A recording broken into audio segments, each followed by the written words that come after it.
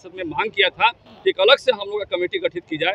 अलग से मतलब सेक्रेटरी बैठे विधान विधानसभा के विधान परिषद के अध्यक्ष बैठे और हम लोग साथ में बैठे। एक अलग से डिस्कस हो और आज वो डिस्कशन होने की बात हुई है।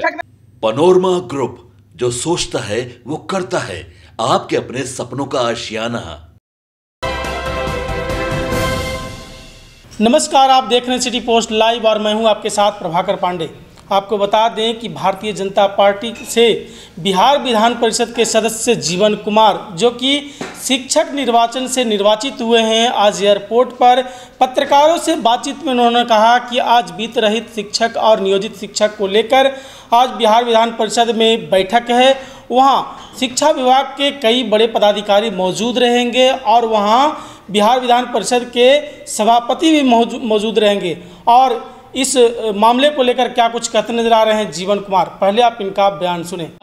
और मुझे लगता है कि बहुत सारी समस्याएँ जो है वो सॉल्व होगा क्योंकि हम लोगों ने विधान परिषद में मांग किया था कि एक अलग से हम लोग का कमेटी गठित की जाए अलग से मतलब सेक्रेटरी बैठे विधान विधानसभा के विधान परिषद के अध्यक्ष बैठे और हम लोग साथ में बैठे एक अलग से डिस्कस हो और आज वो डिस्कशन होने की बात हुई है। में कौन कौन से लोग शामिल हैं? हमारे सेक्रेटरी साहब भी रहेंगे हम लोग भी रहेंगे माननीय मंत्री जी भी रहेंगे तो सब लोग रहेंगे तो जो जो लोग इसको देखने वाले लोग हैं जो व्यवस्था को चलाने वाले लोग हैं वो सारे व्यवस्था को चलाने वाले लोग आज रहेंगे।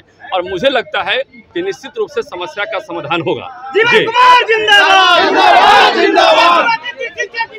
जिंदाबाद जीवन है। हमेशा मैं कहता हूँ कि शिक्षकों शिक्षकों का जीवन कुमार जो है जीवन पहला है। बाद में सरकार और विपक्ष की मैं बात करता हूँ। ये मुद्दा जो है जो आज से नहीं आ रहा ये मुद्दा पहले का मुद्दा है। मैंने इस बात को उठाया है हाउस में उठाया है। और हमारे साथ एक हमारे साथी और भी उठाए थे। आज उसी के चलते आज मीटिंग भी रखा जा रहा है विधान परिषद में। और स्पेशली मैं इसी मीटिंग के चलते मैं यहाँ आया भी हूँ। ठीक है? और मेरा मेरा अपना मानना है कि ये सारा मुद्दा सॉल्व होगा और निश्चित रूप सॉल्व होगा क्योंकि इनके साथ न्याय होना ही चाहिए।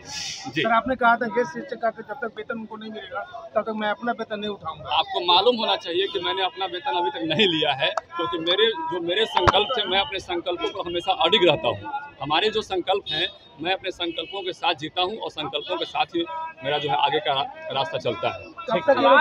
देखिए सवाल यह है कि हालात कब बदलेंगे? सरकार आपकी है सवाल तो देखिए।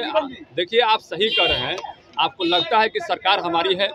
देखिए सरकार में सरकार में बहुत चीज़ें ऐसा है जो सरकार को लगता है कि ये चीज़ें हमें नहीं माननी चाहिए। हाँ लेकिन हमारा अपना मान देखिए मैं सरकार के साथ हूँ नहीं हूँ ये फ़र्क नहीं करता। मैं सबसे पहले शिक्षकों के साथ हूँ। मैं सबसे पहले शिक्षकों के साथ हूँ शिक्षा व्यवस्था के साथ हूँ। मैं चाहता हूँ कि बिहार में शिक्षा व्यवस्था बदले। बिहार में शिक्षकों की व्यवस्था बदले और शिक्षकों के साथ जो गलत तरीके से अमानवीय पूर्ण व्यवहार हुए हैं, वो नहीं हो। और इसलिए ये मामला जो है, जायज़ है। निश्चित रूप से बहुत सारे मामले हमारे पास इसके अलावा और भी हैं गेस्ट टीचर के अलावा। फ़िज़िकल टीचर्स का मामला है। हम बहुत सारे अनुदानित कॉलेज का मामला है, अनुदानित हाई स्कूल का मामला है, जहाँ बिहार विधान परिषद के सदस्य जीवन कुमार ने कहा कि मैं जब तक नियोजित शिक्षक और वित्त रहित शिक्षक के मामले को नहीं सल्टा लिया, लेता, तब तक पेमेंट नहीं लूँगा, नहीं, वेतन नहीं लूँगा।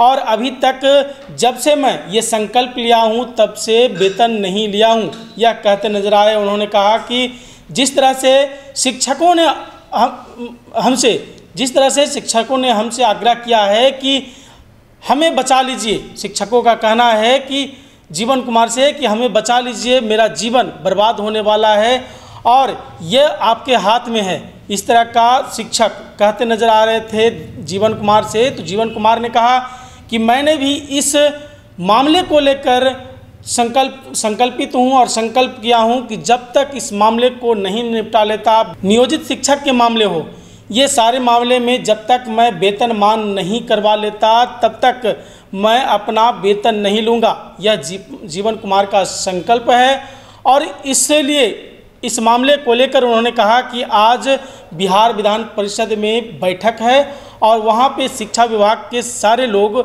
सारे पदाधिकारी, अधिकारी मौजूद रहेंगे। साथ ही साथ बिहार विधान परिषद के सभापति मौजूद रहेंगे।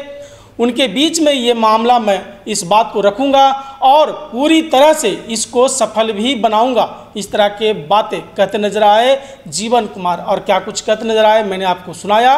फ़िलहाल इस खबर में बस इतना ही। आगे के तमाम खबरों के लिए बने रहे मेरे साथ। वीडियो को लाइक करें, शेयर करें, चैनल को सब्सक्राइब करना ना भूलें। धन्यवाद।